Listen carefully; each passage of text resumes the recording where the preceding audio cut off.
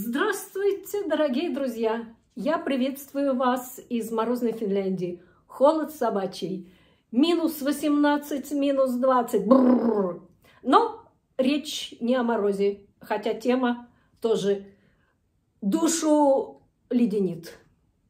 Опять в интернете бушуют недетские страсти по детям.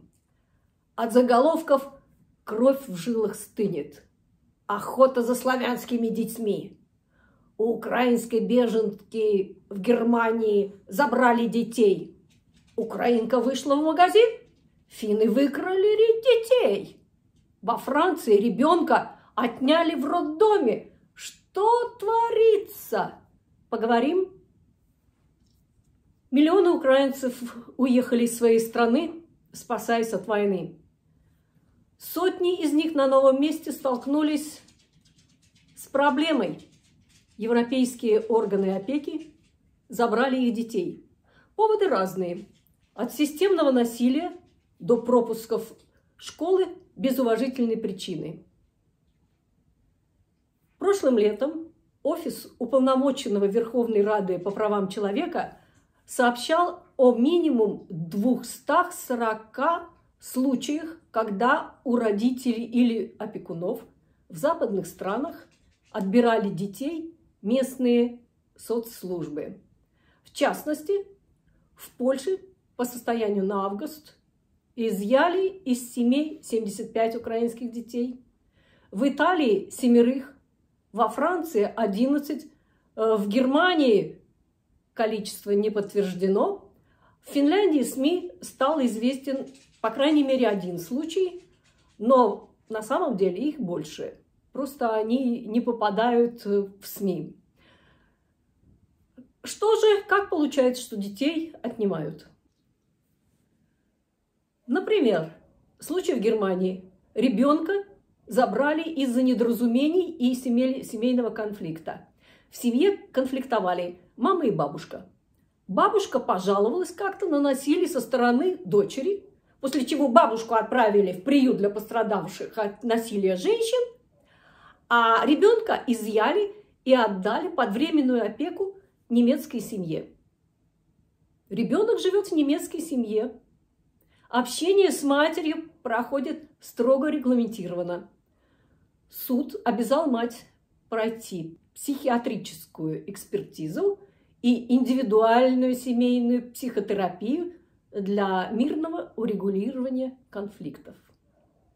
Причины, по которым забирают детей у украинцев за границей, самые разные. А среди них встречаются и действительно криминальные истории, когда вмешательство западных соцслужб становится для детей спасением. В частности, в мае в Польше был судебный процесс над украинкой из Днепропетровской области, у которой в опеке было 10 детей в возрасте от 4 до 16 лет. Поляки которые приютили беженцев, обратили внимание на странное поведение детей. После расследования следствие выдвинуло женщине официально обвинение в том, что она годами издевалась над детьми, избивала их, унижала, морила голодом и подвергала сексуальной эксплуатации. Сейчас идет суд, детей изъяли, с ними работают психологи. Приехавшим в Европу следует понимать, что в цивилизованных странах табу на любые формы насилия в отношении ребенка. Например, в Германии и Финляндии закон запрещает какие-либо телесные наказания, причинение психологических травм и другое обращение с детьми, унижающее человеческое достоинство. Пришел ребенок с ссадинами в школу, долгий плач, долгий детский плач из соседней квартиры, громкий крик. Все это может стать поводом для обращения в службу защиты детей.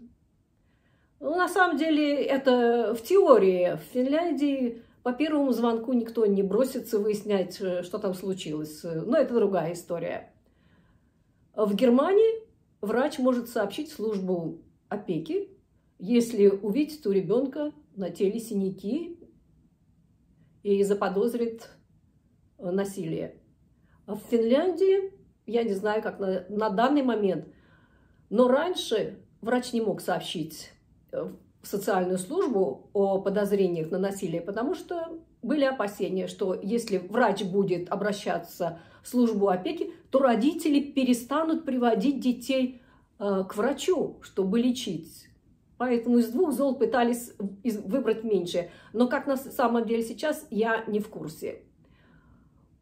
В Польше чаще всего детей изымали из-за пребывания опекуна в состоянии алкогольного опьянения. Такой случай известен и у нас в Финляндии. Семилетнего ребенка изъяли у мамаши, потому что та о ребенке не заботилась. Пребывала постоянно под хорошим шафе. И ребенка изъяли, потому что решили, что мать не может о нем позаботиться. Ей назначили время свидания. Ну, например, в субботу в такое-то время она должна прийти в, эти, в этот детский дом навестить ребенка. Она не пришла.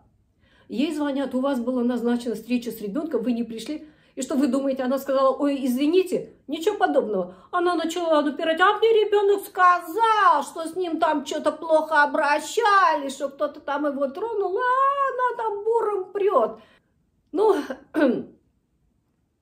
значит, насилие над ребенком, отсутствие заботы э, может стать причиной обращения э, в службу опеки. Более того, намерение увезти ребенка на Украину может стать поводом для изъятия ребенка в Германии. Беженка, уже будучи клиентом службы защиты детей, сказала, отдайте мне ребенка, у него депрессия, я хочу вернуться с ним э, на Украину. И ее частично лишили родительских прав, потому что она хочет вывести ребенка в страну, где идет война, и таким образом нанести вред его жизни и здоровью. А в этом, в этом случае она больше не имеет права решать, где ей с ребенком лучше жить. Она должна советоваться со службой опеки.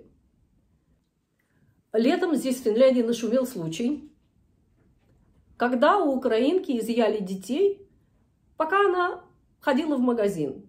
Ну, с ее слов. В магазин пошла, вернулась, детей нет. Финны украли детей. Русофобы украинофобы охотятся за славянскими детьми. На самом деле она была в поле зрения службы опеки уже давно. И служба опеки подозревала, что она не в состоянии заботиться о детях. И вот они решили нанести визит без предупреждения, чтобы проверить, в каких условиях дети живут. Приходят, матери дома нет, дети одни, еды нет, игрушек нет, одежды нет, детей забрали. А мать э, побежала в украинское посольство, э, ей сказали, пиши заявление. Тогда она побежала в российское консульство. Ей сказали, «А, вы гражданка Украины, помочь ничем не можем. Но случай попал в СМИ, в российские, и там была большая-большая такая волна. Финны охотятся за славянскими детьми. Случаются и, и более исключительные случаи, когда украинки отказываются от детей в роддомах. У опекунов диагностированы э, психические расстройства. Э, во Франции двоих детей изъяли под местную опеку после того, как мать покончила с собой, выбросившись из окна. Э, ну, понятно, понятно, конечно, люди бежали от войны, и у многих э, психика нарушена. Сейчас э, во Франции пытаются передать детей бабушке под опеку, но во Франции, например, опекуном не может быть человек старше 65 лет. Так что я не знаю, э, чем это кончится. Украинцы возмущаются. Как же так? Это же украинский ребенок. Украина должна вмешаться. Всем нужно знать, что согласно Гаагской конвенции 1996 года изменение страны проживания влечет изменение юрисдикции. То есть, когда вы переезжаете в чужую страну, на вас распространяется прямое действие законов страны, в которой вы находитесь. То, что в случае малейших вопросов в некоторых странах ребенка изымают сразу из семьи, это часть профилактики и предотвращения насилия. В Финляндии, например, э, стали тоже более внимательно относиться к сигналам в опеку после э, случая, который случился, по-моему, года три назад. Девочка с шести лет жила с отцом и его подругой, потому что мать не могла по состоянию, не знаю по какому состоянию, мать не могла о ней заботиться. И мать замечала у девочки следы побоев. Обращалась 11 раз в опеку, и они не предприняли никаких действий. И в конце концов Эрику убили отец и его подруга. Причем таким жестоким способом, что им обоим дали пожизненное заключение.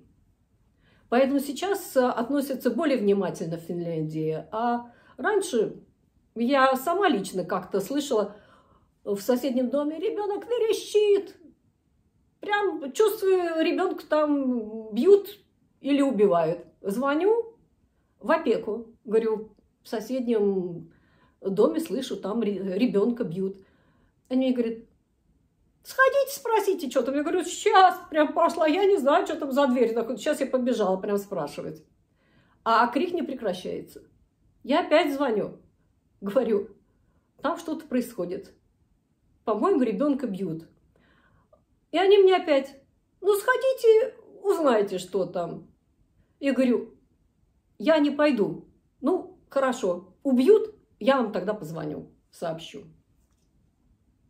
Конечно, когда люди приехали из кризисного региона, и многим нужна психологическая помощь, у многих психика не выдерживала пережитого, и поэтому, конечно, им более пристальное, внимание – случаи, когда детей изымали из семьи, они случались и раньше, часто пестрили, там заголовки отняли, все вот просто на ровном месте раз и приехали, сидели, пели дома спокойненько рождественские э, песенки, и вдруг раз, группа захвата, вертолеты, полиция, и ребенка изымает. Конечно, такого не бывает. Это долгая история.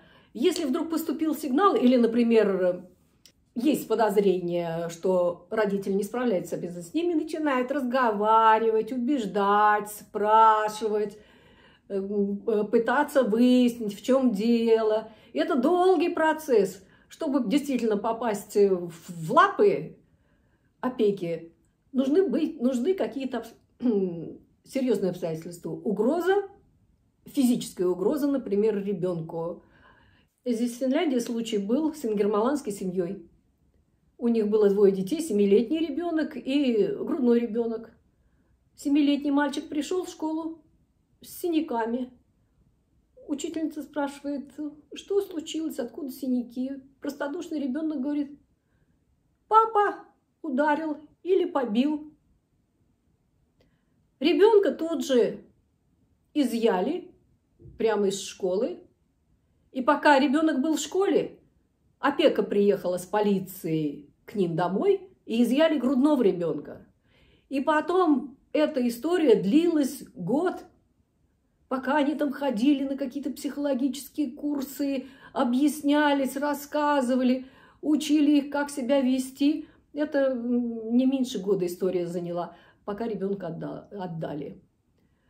В принципе, большинство детей возвращают в семью. Если родители соглашаются на сотрудничество со службой опеки, если они готовы прислушиваться к советам, детей возвращают. Украинцы, у которых есть опыт общения с, со службой защиты детей, у которых детей изымали, а потом детей вернули, они в основном возвращаются на Украину. Поэтому, дорогие друзья, если вы приехали в другую страну, вы попадаете в юрисдикцию этой страны, и вы должны жить по ее законам. Вы не можете бить ребенка, вы не можете оскорблять ребенка, Вы не должны повышать голос на ребенка. Это все может стать поводом для обращения в опеку. На этом я с вами прощаюсь. Благодарю за внимание. Желаю всем всего самого наилучшего в новом году и до новых встреч!